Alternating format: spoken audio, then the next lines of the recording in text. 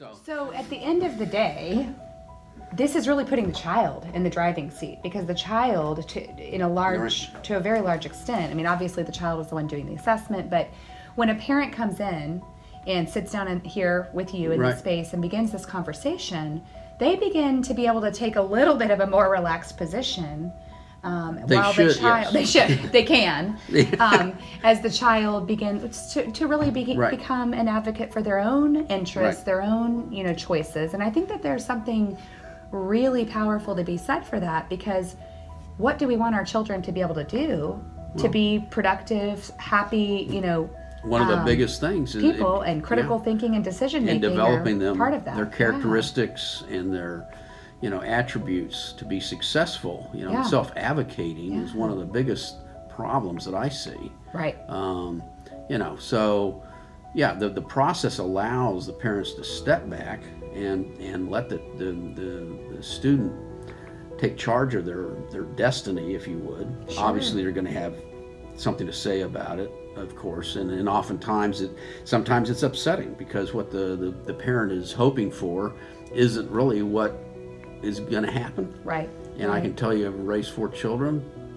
you know, your expectations are always uh, challenged. So, right um, but at the end of the day, it's about that that child and what's going to make them happy, fulfilled, and, and successful. And, and right. without without exploring, without asking the questions and getting the answers, right by doing this in a vacuum, you're just increasing the chance for failure. Right, right, right.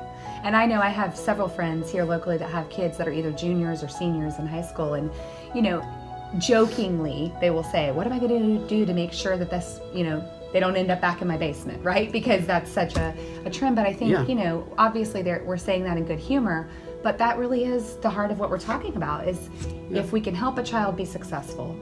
Go out and pursue and learn, you know, a, a skill set and be able to Right. be in a career that they are really going to number one be good at but as Mm-hmm. you said also be happy with then we we have a great chance at um, Sure.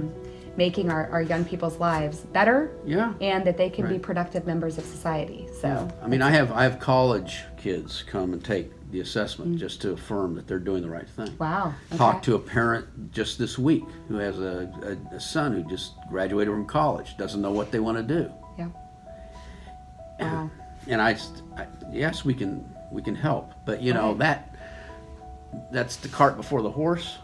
Mm-hmm. yeah And Yeah. whether it's you know, and whether it's right or not to ask a 17 or 18 year old to decide what you know what their future should be, you know, that's a debate for another day. But the, the the fact of the matter is that's where we are in terms of you know the the higher education and the cost and every you know that that we we just have to do a better job planning ahead of time to try to make it as efficient as possible absolutely for the family. right right. You know, yeah.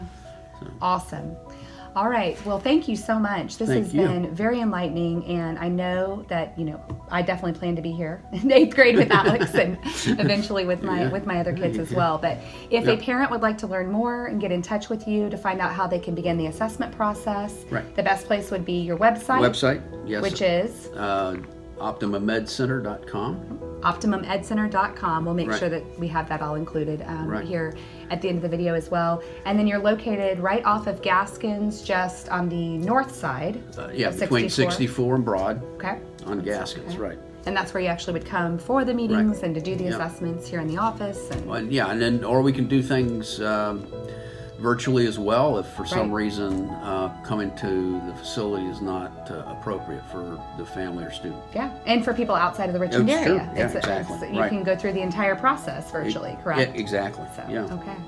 Fantastic. Well, thank you so Thank much. you, Christine. Appreciate it.